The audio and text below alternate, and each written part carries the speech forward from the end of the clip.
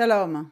Alors aujourd'hui, nous voulons partager un message un petit peu différent euh, qui va faire suite un petit peu à une vidéo donc euh, Jean-Louis a faite sur euh, le Shabbat et qui va la compléter en essayant de vous, de vous montrer un petit peu, de faire une étude vraiment systématique des différents événements qui sont reprochés à Yeshua, dans lesquels il aurait violé le Shabbat, aboli le Shabbat, etc. Et nous voulons donc étudier ceci en détail. Je vous présente donc un travail, donc c'est un travail universitaire, donc il y a beaucoup de sources, beaucoup de références euh, que je ne citerai pas toutes. Euh, donc ce, papier donc est publié sur un autre site euh, académique. Donc voilà, je vous partage déjà tout ceci. Et si vous avez des questions, n'hésitez pas, écrivez-nous, je serai ravie de vous répondre, on sera ravis de vous répondre. Donc nous allons parler un petit peu du message sous-jacent de Yeshua dans tous ces événements, dans tous ces, différents, ces sept actes controversés D'accord? Le jour du Shabbat. Qu'a-t-il fait? Qu'en est-il? Est-ce que Yeshua a décidé d'abolir le Shabbat? Est-ce que c'est fini? Est-ce qu'on doit encore le pratiquer? Qu'en est-il? Qu'a-t-il voulu nous enseigner? Donc il y a sept actes principaux. La cueillette du grain par les disciples de Yeshua, l'homme à la main desséchée, la femme infirme, l'homme atteint euh, d'hydropisie, L'homme infirme, euh, celui qui est né aveugle, la guérison de la belle-mère fiévreuse de Shimon, Pierre. Et donc, je vais vous partager un petit peu, on va étudier un petit peu tout ce qui s'est passé dans chacun de ces actes, quels sont les actes d'accusation, et qu'est-ce que dit la halacha, la loi orale par rapport au Shabbat, et pour conclure, qu'est-ce que Yeshua a voulu nous enseigner? Donc, bien sûr, c'est un message assez long, donc il va être euh, certainement fait en deux parties, voire trois. Déjà, je vous partage la première partie et nous verrons pour la suite euh, bientôt, très bientôt. Alors, au niveau d'un, faire une, introduction euh, assez courte, dans la Brit Hadasha, dans le Nouveau Testament, on voit qu'il y a effectivement plusieurs lois de la Torah qui sont énumérées. Le Nouveau Testament donc s'adresse au départ été écrit par des juifs qui connaissaient très bien la Torah, qui s'adressaient déjà à d'autres juifs et après par la suite par extension à des nations qui devaient venir un peu étudier tout ce qu'il en était puisqu'on voit dans Acte 15 que les les apôtres recommandent que les nations viennent à la synagogue euh, chaque Shabbat pour pouvoir étudier ce que disait Moshe, donc la Torah automatiquement. Donc je vous renvoie, aux, au, parachutes que nous faisons, commentaires sur les parachutes, les, les portions de Torah que nous faisons chaque semaine, où ceci est détaillé. Et donc, euh, on voit qu'à l'intérieur, il y a donc euh, le Shema Israël, la mitzvah d'aimer son prochain comme soi-même, qui fait partie de la mitzvah centrale, du livre central de la Torah, dans la Parashat Kedoshim. Et on peut voir également à différents endroits que Yeshua se rendait régulièrement à la synagogue le Shabbat. Dans Luc, par exemple, 4.16, il est venu à Nazareth, où il avait été élevé, il entra, et comme c'était l'habitude, dans la synagogue, sur le jour du Shabbat, il se leva pour lire. Il lisait la Torah de la, portion de Torah, donc qui se pratiquait, ainsi que les, les prophètes. D'ailleurs, c'est là qu'il va annoncer qu'il est le Mashiach, d'une façon indirecte. Cependant, il y a également dans les évangiles plusieurs de ces euh, événements, notamment les sept que j'ai cités, qui sont assez euh, controversiaux parce qu'ils impliquent Yeshua dans une sorte de transgression du Shabbat. Donc, la question se pose. Les autorités religieuses de l'époque reprochent à Yeshua de faire des choses illégales, selon les lois de la Torah, le jour du Shabbat. Alors dans cette étude, on va prendre chacun des sept cas et on va les étudier en, détail pour essayer de comprendre ce que euh, Yeshua, le Messie, euh, apparemment observateur de la Torah, juif, a essayé de transmettre à la population d'Israël au premier siècle de notre ère et par la suite pour tous ceux qui liraient ce qu'il a enseigné. Alors, concernant les sept actes, cinq épisodes de guérison opérés par Yeshua le jour du Shabbat sont répertoriés dans les évangiles. Nous avons donc, donc tous ces actes, bien entendu, sont reprochés euh, comme étant des profanations. Hein. Donc l'homme à la main desséchée, la femme infirme, l'homme hydropique, l'infirme et l'aveugle-né. Un sixième épisode, c'est la guérison de la belle-mère de, belle Shimon qui était fiévreuse, mais apparemment il n'y a aucun reproche. Et il faut ajouter à cela l'incident donc de la cueillette du grain par les disciples, les Talmidim du Yeshua, qui n'a pas été accompli directement par lui-même. mais il a donné son accord, au moins il ne s'est pas opposé. Alors on va commencer par la cueillette du grain par les disciples de Yeshua. Donc c'est Matthieu 12, 1, 8 et Matthieu 2, 23, 28 et c'est également répertorié dans Luc 6, 1 à 5. Je ne vais pas lire tous les passages, ça serait beaucoup trop long, je vous en laisse le soin. L'accusation, quelle est l'accusation qui est portée contre Yeshua? C'est celle de cueillir et de frotter les grains l'un contre l'autre. Le texte raconte euh, donc que les disciples de Yeshua euh, ont accompli euh, ce jour de Shabbat alors qu'ils se promenaient dans les champs. Ils avaient faim, ont ramassé du grain et il se trouve que la cueillette fait partie de l'interdiction euh, d'un travail. Travail, en fait, ce ne soit pas complètement explicite parce que le mot travail, c'est le mot melacha, qui n'est pas le mot avoda. Donc, c'est un melacha, c'est un mot qui est surtout utilisé pour désigner des tâches qui sont relatives notamment à la construction du mishkan, du tabernacle. Les melacha, melachot, tout ceci, c'était euh, fait partie des travaux de construction du mishkan. Donc, c'est déjà pas très clair depuis le départ. Et on voit donc dans la Mishnah Pesarim, Mishnah Shabbat, euh, etc., euh, toutes ces citations-là, la moisson, entre autres, était donc une melacha, une tâche interdite. Mais la cueillette fait partie des interdictions de récolte si les fruits sont encore attachés à la tige ou à la branche. Donc on peut lire dans Shabbat 73a, sont inclus dans le travail interdit, donc dans la melacha, de la, moisson, le blé ou l'orge, la cueillette du raisin, des olives, des dattes ou des figues, de l'arbre ou de la vigne, ou toute autre chose qui pousse de la terre. Néanmoins, une fois qu'une branche est détachée de la terre, bien qu'il y ait des fruits sur elle, ces fruits peuvent être cueillis le Shabbat car ces fruits ne sont plus attachés à la terre, rattachés à la terre. Il est donc permis de cueillir le raisin de sa grappe le Shabbat puisque la grappe n'est plus attachée au sol. Donc, il va y avoir beaucoup de détails assez techniques puisqu'on est en train de parler de lois qui régissent donc euh, toute la, vie juive, hein, la vie euh, israélite et juive. Donc euh, il va y avoir un petit peu des textes, des textes de loi que l'on va citer, mais qui sont très importants pour essayer de comprendre tout ce qu'on essaie de dire. Alors l'évangile de Luc ajoute même qu'ils frottaient le grain entre leurs mains. Et ça, ça relève d'une autre interdiction, d'un autre melacha, qui est celui de battre, bien que ceci ne soit pas non plus explicite. Voilà ce qu'il est dit dans Shabbat 128a, encore une fois. Et l'on peut les cueillir avec sa main et les manger, à condition de ne pas les cueillir avec un récipient. Et on peut écraser et enlever les graines avec ses mains et les manger, à condition de ne pas écraser beaucoup avec un récipient. C'est la déclaration de Rabbi Yehuda. Et les rabbins ajoutent, on peut les écraser seulement avec le bout des doigts, de manière atypique, à condition de ne pas écraser un, paquet donc avec la, avec la main, de la manière dont on le fait pendant la semaine. Ce sont donc des, lois et des barrières sur des lois qui ont été mises pour protéger euh, l'application de la Torah. Donc les pharisiens reprochent immédiatement à Yeshua que ses disciples violent le Shabbat, ou plutôt font ce qui n'est pas légal, c'est-à-dire interdit par la loi orale. La défense, la défense qui est euh, offerte par Yeshua est basée sur toute la question de la Torah par rapport à l'enjeu de la vie en utilisant ce qu'on appelle un argument calve et romer, c'est-à-dire du plus facile au plus lourd. Si on peut faire comme ceci de cette façon, a fortiori on peut faire comme ceci de l'autre façon. Et il utilise entre eux le passage donc de 1 Samuel 21 de 7 et de Osée 6 6 pour justifier les actes de ces talmidim, de ses disciples.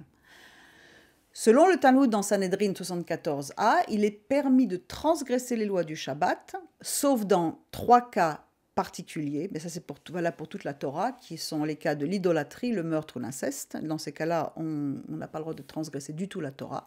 Mais dans les autres cas, notamment en cas de piquoir nefesh, c'est-à-dire en cas de danger de vie, Rav Yochanan a dit au nom de Rav Shimon ben Yehotzadak, ils ont compté les votes, ils ont conclu dans les chambres de la maison, etc. Toutes les lois de la Torah, si elles disent à une personne transgresse et ne meurt pas, elle peut transgresser et ne pas souffrir la mort, à l'exception de ces trois cas-là.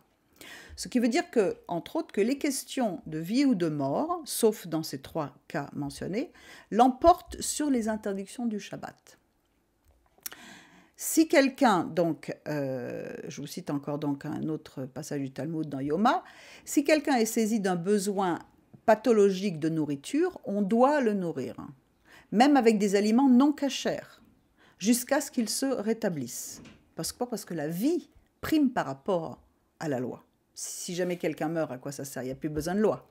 Donc, la Torah prévoit que, en cas de vie ou de mort, c'est la vie qui va primer. Une personne qui est mordue par un chien enragé ne doit pas être nourrie avec le foie du chien, mais Rabbi Mathia ben Sharash le permet, c'était une façon de guérir à l'époque. De plus, Rabbi Mathia ben Raraj a dit si une personne a mal à la gorge, il lui est permis de lui mettre des médicaments dans la bouche le jour de Shabbat en raison du danger possible pour sa vie, et tout ce qui menace de mettre la vie en danger supplante l'observation du Shabbat. Évidemment, bien entendu, puisque Dieu veut que nous vivions avant tout. Dans le, traité de Ménachot, 96a, il, est mentionné l'histoire du roi David comme une justification pour enfreindre justement une des halachot, c'est-à-dire une des, lois orales. David dit au prêtre Il n'est pas nécessaire de dire qu'il m'est permis de manger ces pains de proposition qui ont déjà été retirés de la table. Les pains de proposition étaient donc posés sur euh, la table dans le, dans le, dans le temple et n'étaient réservés qu'aux Kohanim une fois donc euh, par semaine. En effet, l'encens placé dans les coupes qui étaient sur la table a déjà brûlé. Puisque les pains n'ont plus le statut d'objet auquel s'appliquent des halachot, ils sont considérés comme une matière non sacrée, c'est-à-dire qu'il est permis aux prêtres de les consommer.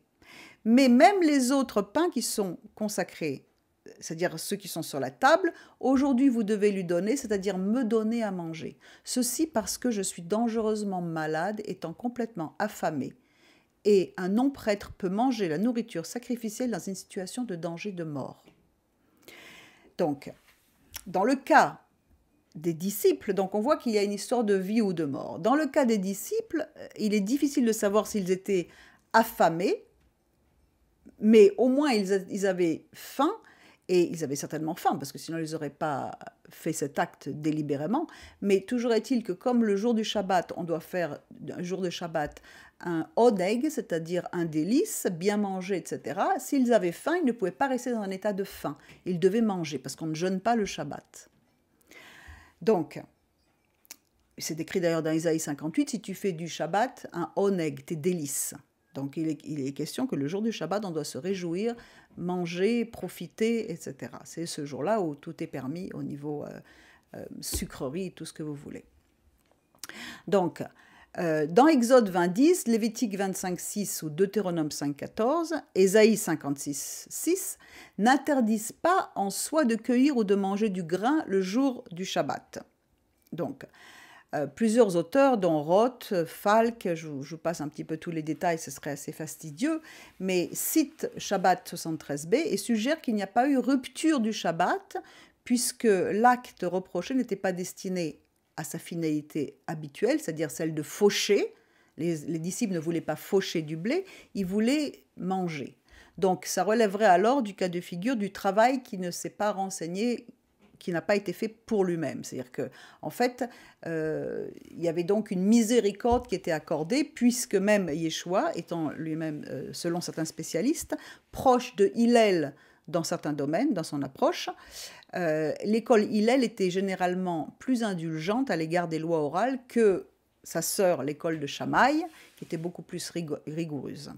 Donc, pour un autre auteur de Francisco, Hillel l'Ancien aurait approuvé la position de Yeshua concernant la cueillette de céréales le jour du Shabbat en cas de besoin de manger. Parce que s'ils avaient faim, il fallait qu'ils mangent. Et donc, il est même dit dans Shabbat 132b, encore une fois, à propos du sacrifice dans le temple, il est écrit Le service sacrificiel remplace également le Shabbat. Donc, il y a beaucoup de choses. Donc, ensuite, il y a même une autre opinion, celle de Sanders, qui dit qui s'interroge en fait sur la réalité de l'événement. Comment des groupes de pharisiens auraient-ils pu, le jour du Shabbat, s'organiser pour aller contrôler dans les champs qui transgressait les lois du Shabbat? Qui semble tout à fait logique. Le jour du Shabbat, ils étaient à la synagogue, ils enseignaient, ils se réjouissaient comme tout le monde. Est-ce qu'ils ont organisé des équipes pour aller dans tous les champs pour voir qui allait transgresser le Shabbat et pourquoi dans les champs et pas ailleurs?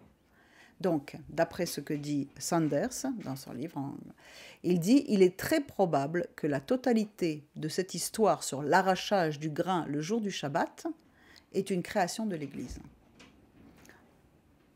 Un commentaire. Quand on fait un travail comme ceci, on prend tous les aspects et les opinions de tout le monde pour pouvoir tirer une juste conclusion.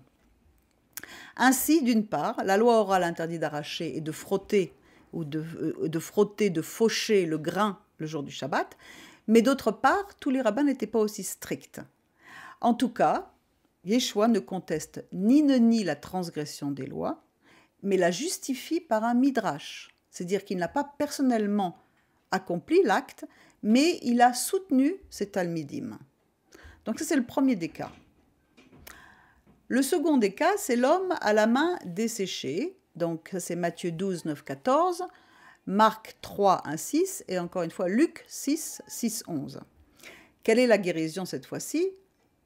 L'acte d'accusation, c'est pardon, l'acte d'accusation, c'est la guérison.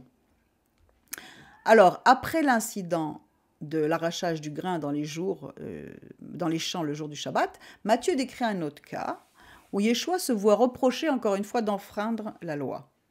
L'histoire commence en racontant que les gens de la synagogue essayaient de le piéger en lui posant une question sur la guérison justement le jour du Shabbat. Dans Matthieu 12, 10, il est dit, il y avait là un homme dont la main était desséchée, ils l'interrogèrent et dirent, est-il permis de guérir le jour du Shabbat afin de le diffamer? Là, je donne la version Pshita. Yeshua se, répond donc en se référant à la Torah et à la loi orale également, montrant donc qu'il connaît très bien, il sait très bien de quoi il parle, bien entendu. Et la loi rabbinique donc permettait de soulager la douleur d'un animal le jour du Shabbat. Dans Tosefta Shabbat, on le voit, Shabbat 128. Donc, Falk encore, donc un des auteurs que je cite dans l'étude, écrit que la controverse faisait référence à un différent entre Beth Shammai et Beth Hillel, encore nos deux écoles qu'on retrouve, celle qui était plus rigoureuse que l'autre, au sujet de la permission de prier pour les malades le jour du Shabbat. Il y a donc un document qui s'appelle le document de Damas qui reflèterait la position de la maison de Shammai, c'est-à-dire qui donne une réglementation plus, stricte, et je cite, Personne ne doit aider un animal à mettre bas le jour du Shabbat, et s'il devait tomber dans une citerne ou une fosse, on ne le sortirait pas le jour du Shabbat. beaucoup plus rigoureux. En tout cas, sans même entrer dans toutes ces différentes lois, Yeshua a simplement dit à l'homme d'étendre sa main. Il n'a accompli aucun des 39 travaux interdits, mais la rote, que je vous, lirai, je vous citerai tout à l'heure, il a transgressé aucune loi, et justement, le verset utilise dans Matthieu 12, 13 une construction passive. Il dit Il a été restauré. Indique ceci il a été restauré, c'est-à-dire qu'il y aurait eu une guérison divine dont, dont Yeshua lui-même n'aurait pas fait un acte direct. De plus, il fait taire, il fait les, les pharisiens en leur posant une question sur le fait de faire du bien ou du mal le jour du Shabbat pour sauver une vie ou la détruire. Ainsi, dans ce cas précis, Yeshua n'est pas coupable d'avoir transgressé les lois du Shabbat. Donc, la première, la première chose avec les grains, on voit qu'il n'accomplit pas l'acte lui-même, mais qu'il soutient ses disciples parce qu'ils avaient faim. Et dans le deuxième cas, il ne transgresse pas. OK?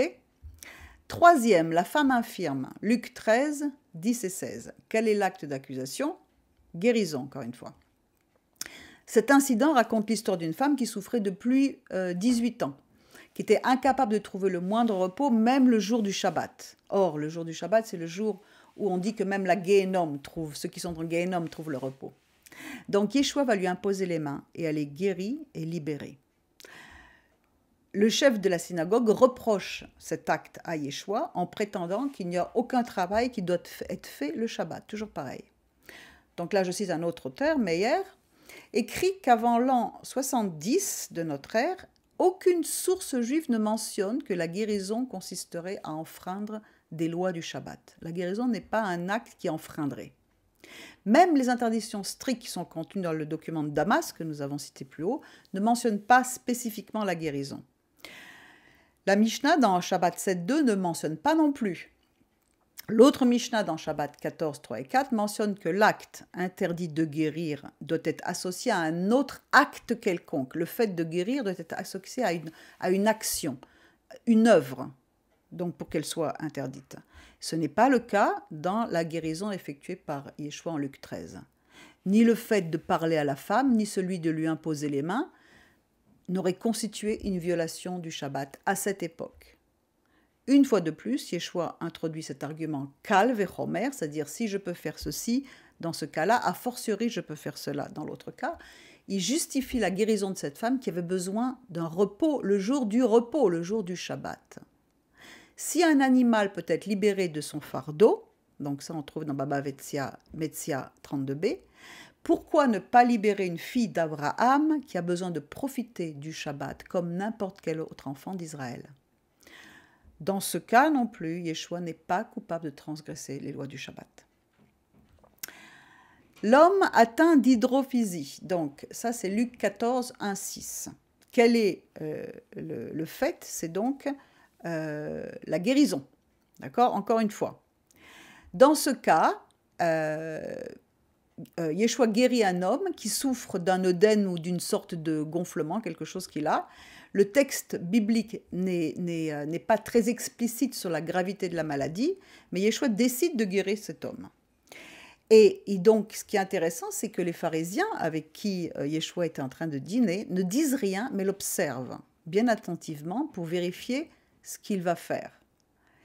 Donc là, il utilise un autre argument qui est tiré du Tanar, qui est cité de manière similaire dans, dans la Tosefta, dans Shabbat. Il dit s'il est tombé dans une fosse, donc c'est Exode 23.5 le verset, s'il est tombé dans une fosse et qu'il ne peut en sortir, on lui laisse une chaîne, on y descend, le tire de là. Et il n'est pas nécessaire d'obtenir la permission d'un tribunal. Donc, a fortiori, si aucun travail n'est effectué, Yeshua n'est pas non plus coupable d'avoir transgressé les lois du Shabbat dans ce cas. Et d'ailleurs, les pharisiens se taisent et observent. Ensuite, nous passons à l'homme qui est infirme dans Jean 5, 1, 18. L'accusation, la guérison, c'est donc il guérit et l'accusation est d'avoir transgressé. Yeshua se rend à Jérusalem pour une fête et il se rend à une piscine près de l'enceinte du temple, c'est Bethesda, près de la porte des brebis, qui est citée dans Néhémie 3.1, où des malades attendent la guérison après qu'un ange soit venu ajouter l'eau. Donc, ce verset d'ailleurs n'est pas, euh, pas euh, spécifié dans toutes les versions. Yeshua guérit l'infirme, qui est malade depuis 38 ans, et lui dit de se lever et de porter son tapis. Bien entendu, chacun de ces histoires a une histoire en elle-même. Hein. Et si on vient, vous venez visiter avec nous Bethesda, on a toute une histoire concernant la valeur numérique du chiffre 38, le ceci, etc. Et qu'est-ce qui s'est passé exactement ce jour-là. Mais ça, c'est pour un autre sujet. Les pharisiens le voient et reprochent à Yeshua d'enfreindre la, règle du Shabbat, qui, est celle-ci. Quelle est la melacha qui est interdite? C'est celle de porter un objet entre les domaines euh, euh, publics et privés, ou, ou public public, et euh, transférer d'un type de domaine à un autre type de domaine. Et effectivement, on voit que la Bible et la loi orale l'interdisent. On peut le lire dans Jérémie 17, 21, Lévitique 34, 21, Nombre 15, 32, Néhémie 13, etc. Il y a plusieurs cas. On ne peut pas marcher plus de quatre coudées d'après la Mishnah Iruvim hors de son domaine le Shabbat et on ne peut pas transporter des choses dans un domaine public. Donc, ce qui vous explique un petit peu tout le contexte de comment est-ce que les juifs qui sont très observateurs vivent le jour du Shabbat, notamment euh, en Israël ou à l'extérieur. C'est un petit peu différent. Par exemple, en Israël, on considère que, toute la ville euh, fait partie du même domaine, donc on peut transporter des choses, alors que si on est à l'extérieur d'Israël, il va y avoir des endroits bien délimités. On ne pourra pas passer d'un endroit à l'autre en transportant certaines choses. L'événement tout ceci, tout ce, tout ce qui se passe est débattu justement autour de la loi orale. C'est très technique. Dans Hérouvim 459a, il est mentionné que ces lois sont rabbiniques et qu'une donc une certaine indulgence est demandée. Nous avons appris dans la Mishnah comment les sages n'ont pas énoncé la question, les lois de limite du Shabbat, pour être rigoureux, mais plutôt pour être indulgents. Alors la Gemara demande, le contraire n'a-t-il pas été enseigné dans une baraïta? Les sages n'ont pas déclaré que la question, les lois des limites du Shabbat devaient être indulgentes mais plutôt strictes. Ravina a dit qu'il n'y a pas de contradiction entre ces deux déclarations. l'institution même des limites du Shabbat a été promulguée, non pas pour être plus indulgente que la loi de la Torah, mais plutôt pour être plus stricte que la loi de la Torah. Néanmoins, puisque les limites du Shabbat sont une loi rabbinique, les sages ont permis certaines indulgences en ce qui concerne la façon dont les limites du Shabbat sont établies. Mais selon la loi rabbinique ultérieure, la guérison d'une maladie mortelle était autorisée le Shabbat, mais pas celle d'une maladie chronique qui pouvait, dont la guérison aurait pu se produire après le Shabbat. Ça, c'est dans Yoma 84b. Cette loi aurait été en vigueur à l'époque de Yeshua, c'est euh, le deuxième siècle avant Yeshua, pardon, Yeshua de guérir un homme après, qui pouvait nous permettre de comprendre un petit peu la route du Shabbat. Et ces deux sources sont les livres des Jubilés et les manuscrits de la mer morte avec le document de Damas dont j'ai parlé un peu plus haut. La liste qui est donnée dans le livre des Jubilés au chapitre 50 ne mentionne aucune des transgressions que Yeshua aurait commises concernant la guérison. Parmi les actes interdits, il apparaît que Yeshua est coupable de deux actes principaux, l'un concernant les route agricoles et le second en permettant au boiteux qui a été guéri de porter son tapis.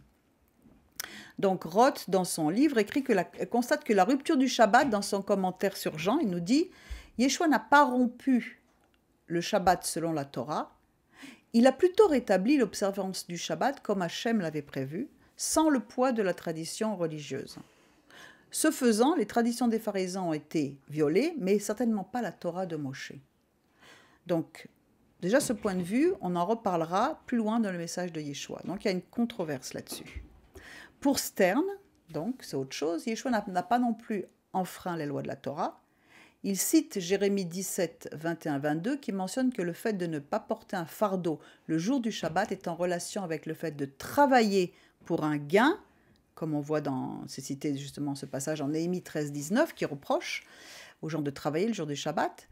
Mais dans une ville fortifiée comme Yerushalayim, Jérusalem, le héros, c'est-à-dire le, domaine qui était délimité, rendait légal le port de charge le jour du Shabbat. C'est-à-dire qu'en fait, ça aurait fait partie du domaine dans lequel c'était possible de transporter quelque chose.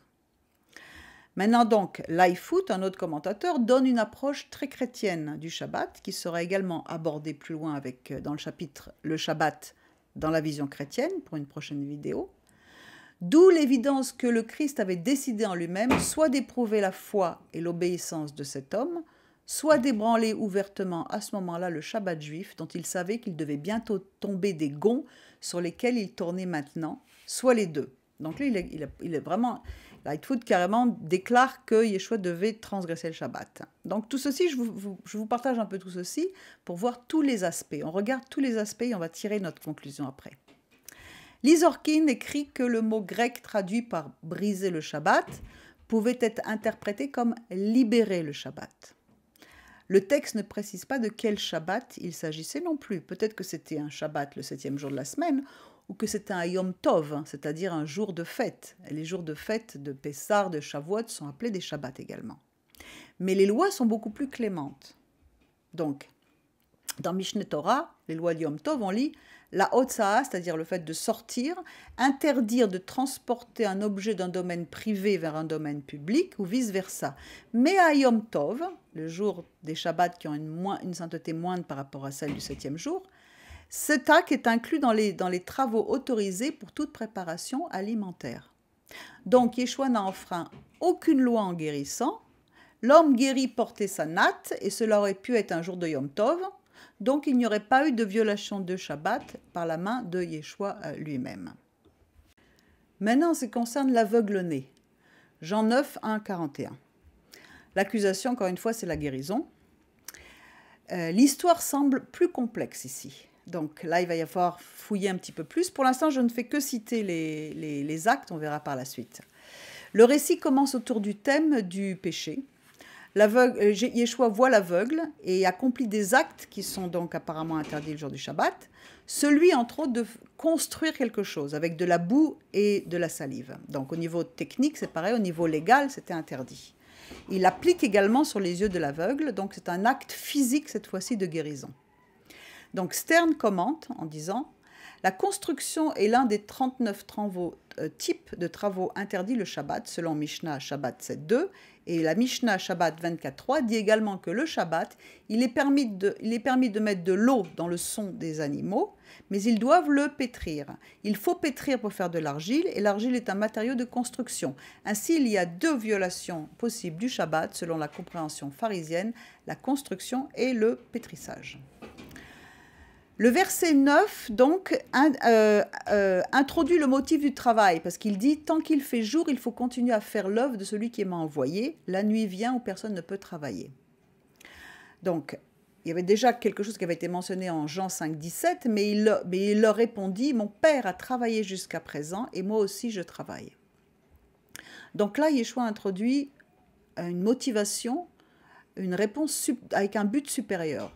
Les œuvres de Yeshua sont les œuvres du Père et, en tant que telles, elles sont au-dessus des restrictions du Shabbat. Pour d'autres auteurs comme Lévin et Brettler, c'est plus complexe. Ils contestent l'historicité de l'événement. Tout d'abord, l'enquête juridique, donc dans Jean 9,15, opérée, par le pharisien, aurait été complètement incertaine le jour du Shabbat au premier siècle. Comment se fait-il qu'ils allaient demander à quelqu'un qu'ils allaient faire une enquête ce jour-là du Shabbat C'était pas possible. Encore une fois, nous avons la même, même sorte d'histoire qui se passe un jour du Shabbat où c'était certainement pas euh, possible. Dans Sanhedrin 4.6, dans le Talmud de Jérusalem, il est interdit les sessions de tribunaux justement le Shabbat. Donc comment se fait-il qu'il y avait un tribunal, il y avait une réunion? Et d'une, il y avait une équipe qui était envoyée dans les champs pour aller euh, vérifier si personne ne transgressait. Ensuite, là, on convoque euh, l'aveugle-né. Ça ne pouvait pas se faire, le Shabbat. Deuxièmement, l'exclusion des synagogues des personnes qui confessaient Yeshua, dans, on voit dans le verset 9-22, serait anachronique à cette époque. Parce que comme le conclut Schmitt d'Aril, donc nous devons conclure que, comme pour de nombreuses autres questions historiques, les récits de l'évangile de Jean concernant la guérison le jour du Shabbat semblent improbables. L'association de la controverse du jour du Shabbat au récit de guérison dans l'évangile de Jean est encore plus manifestement secondaire que dans les trois premiers évangiles. Tant l'utilisation par Jésus de l'argumentation rabbinique que les commentaires rédactionnels sur les raisons de la mise à mort de Jésus reflètent un contexte de la fin du premier siècle. Néanmoins, ce chapitre, c'est le plus difficile à résoudre au niveau halachique, au niveau de la loi, parce qu'il n'y avait pas dans ce cas-là de picour en effet, c'est-à-dire de danger de mort. Il y a eu donc une melacha, un travail, voire deux travaux interdits qui ont été accomplis par Yeshua. Alors un examen plus approfondi des deux histoires mentionnées dans Jean, celle du boiteux et de l'aveugle, introduit le lecteur dans une dimension qui sera beaucoup plus grande, disputée plus loin, au chapitre précédent donc, de la vidéo, au chapitre du message de Yeshua, qu'est-ce qu'il a voulu nous transmettre. Et les versets 16 et 17 impliquent une discussion entre les pharisiens sur le statut de Yeshua.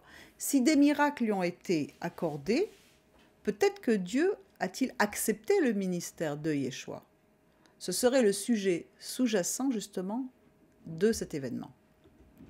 On l'abordera par la suite aussi.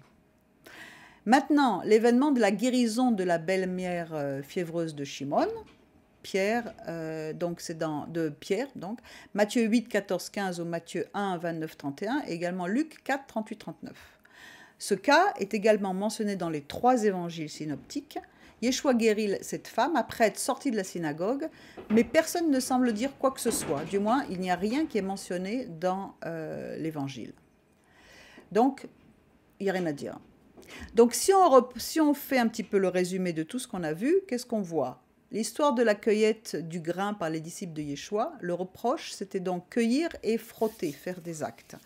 La raison, qu'est-ce que dit Yeshua? Je vous le dis, qu'il y a en ce lieu quelque chose de plus grand que le temple. Si vous saviez ce que signifie je veux de la compassion plutôt que des sacrifices d'animaux, vous ne condamneriez pas les innocents. Et donc il est dit encore, il, dans euh, Marc 2,7, il leur dit Alors il leur dit Le Shabbat a été fait pour l'homme et non l'homme pour le Shabbat. Ainsi le Fils de l'homme est Seigneur même du Shabbat. Quel est le verdict? Yeshua n'est pas coupable, mais il autorise et il justifie ses talmidim à cueillir ses grains, ce qui pourrait être une interdiction, mais ce n'est pas complètement explicite. Ok? Donc, ensuite, le deuxième événement, c'est l'homme avec la main sèche.